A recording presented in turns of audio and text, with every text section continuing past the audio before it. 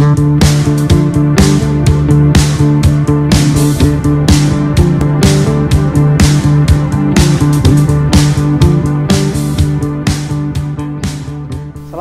warahmatullahi wabarakatuh.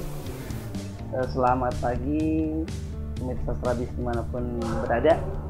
Hari ini PT Kereta Api Indonesia menyelenggarakan tengah menyelenggarakan acara workshop mengenai pensiunpreneur.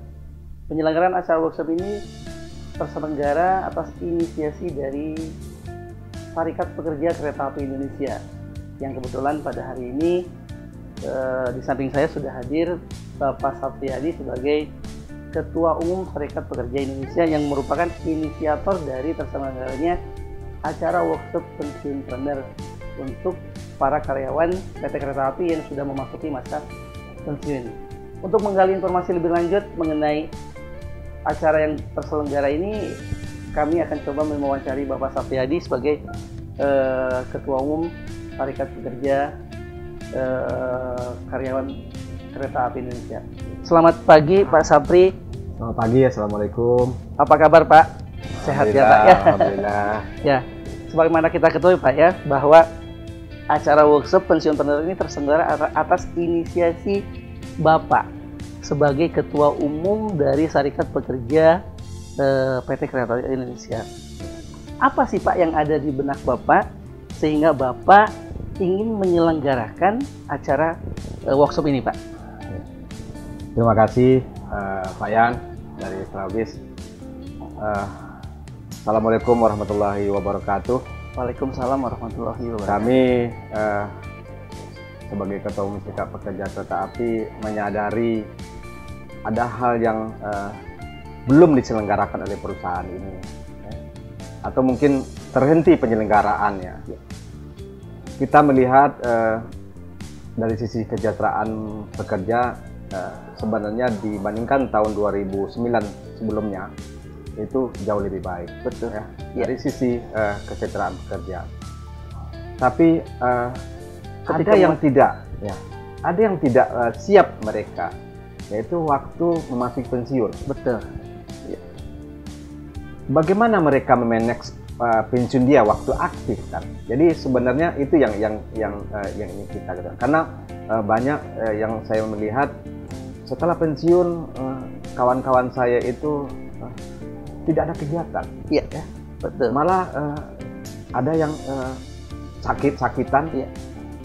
Atau mungkin umurnya yang tidak tidak tidak panjang. Walaupun Betul. soal umur Allah yang menentukan. Betul, betul. Tapi uh, kan kita harus berusaha gitu.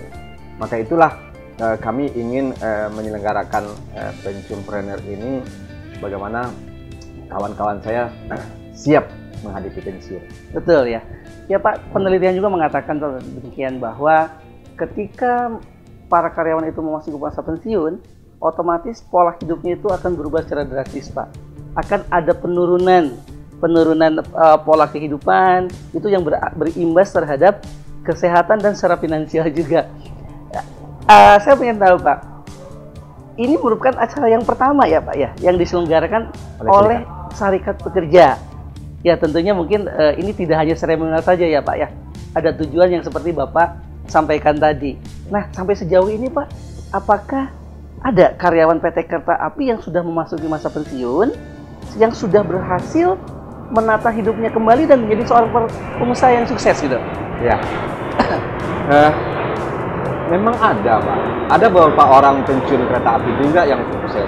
Ya. Dulu waktu penyelenggaraan eh, Rakernas di bulan Februari eh, yang lalu, saya malah bawa eh, mereka ke eh, peserta itu ke daerah mm, wisata di Bandung Selatan, Iya, iya.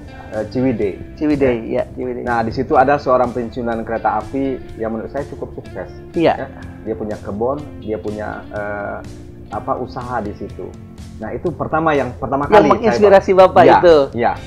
Kemudian eh, kenapa sih ini tidak kita kita didik lagi? Betul. Karena yang kemarin kan betul pengurus. Nah, kalau Ya. ini pesertanya ada yang pengurus, ada juga yang tidak pengurus. Ya. gitu. Nah, jadi eh, saya berharap eh, mereka mulai dari sekarang sudah bisa mempersiapkan diri mereka, memanage pensiunnya, eh, agar nanti bisa juga menjadi menjadi pengusaha-pengusaha yang eh, Pak eh, Sarizal Siregar namanya yang dari di- di- Yang dari Ciwidey. Iya, Betul. itu mantan direktur dia dulu di kereta api. Iya, iya.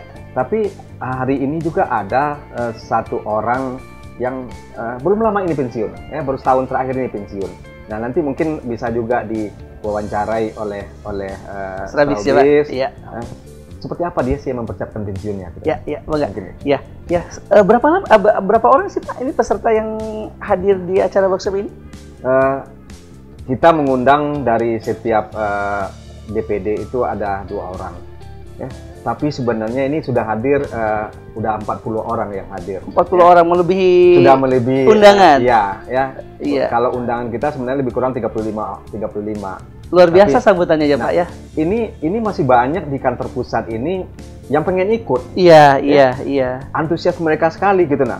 Iya. Tapi eh, ini kan keterbatasan ya. Betul. Jadi ya mudah-mudahan nanti awal yang baik ini eh, bisa berlanjut. Menjadi momentum ya, ya. Ya.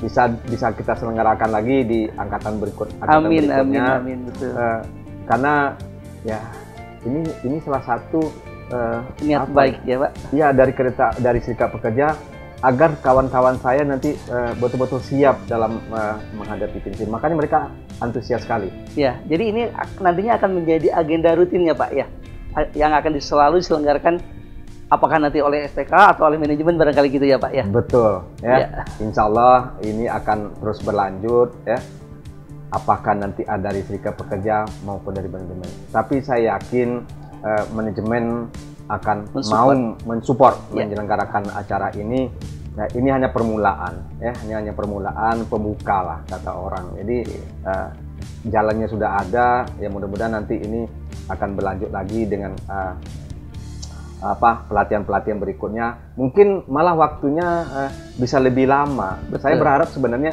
ini hari ini hanya satu hari, ini hanya sekedar mensupport, memotivasi. Tapi saya berharap ke depan itu minimal tiga hari Betul, Ya. betul, ya. agar eh, selain dari eh, pengetahuan di dalam di dalam ruangan, tentunya mereka juga akan melihat eh, secara Kunjungan, praktek betul. kunjungan. Kalau perlu ada prakteknya. Ya, Jadi, betul, betul. eh, ini harapan saya ke depan. eh, tapi saya yakin eh, direktur SDM yang sekarang akan mensupport ini. Amin, amin. Eh, demikian eh, pemirsa strategis di mana pun eh, berada, tadi kita sudah wawancara langsung dengan eh, Pak Sapriyadi sebagai Ketua Umum SPKA Kereta Api Indonesia yang merupakan eh, inisiator dari terselenggaranya acara ini. Demikian liputan kami. Assalamualaikum warahmatullahi wabarakatuh. Waalaikumsalam.